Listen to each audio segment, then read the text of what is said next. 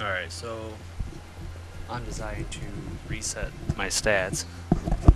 Yeah, I got a 2.116, doing alright, win loss 2.4, but I enjoy the idea of gaining XP and all that other good stuff, and right now I'm gaining XP for nothing, as I have all of them level 60.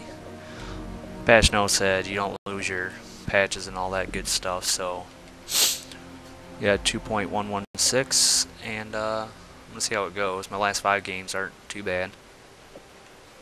Um, I'm gonna go through all my characters though, just so I can see my good old loadouts that I had.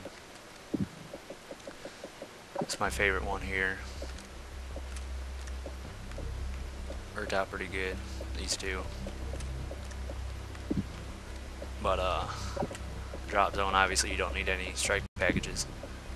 Heavy duty was the shit back in the day. But, uh, oh well.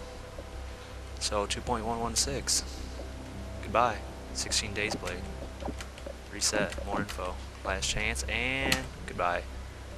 Um, for me, though, there it is. Blank. Infected.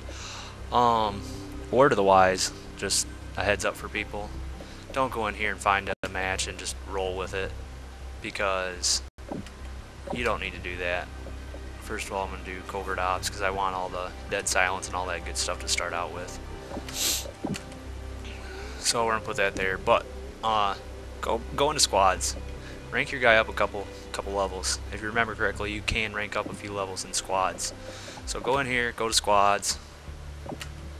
Run a couple of squads games against the bots. Get it so you can get a couple squad points first.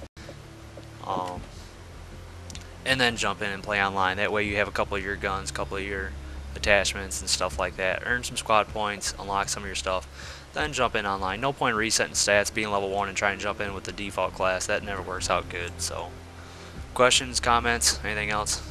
Go ahead and shoot me a comment or something like that. Here you are.